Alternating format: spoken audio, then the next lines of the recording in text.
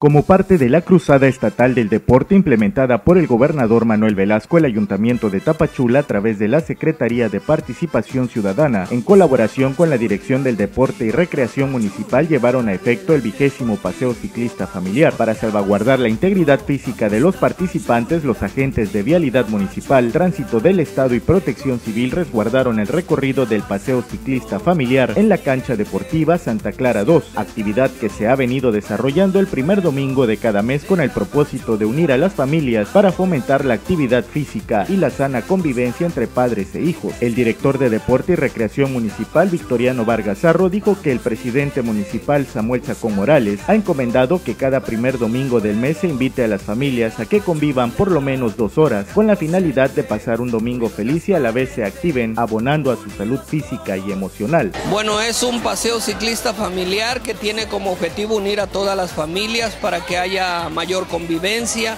para que los niños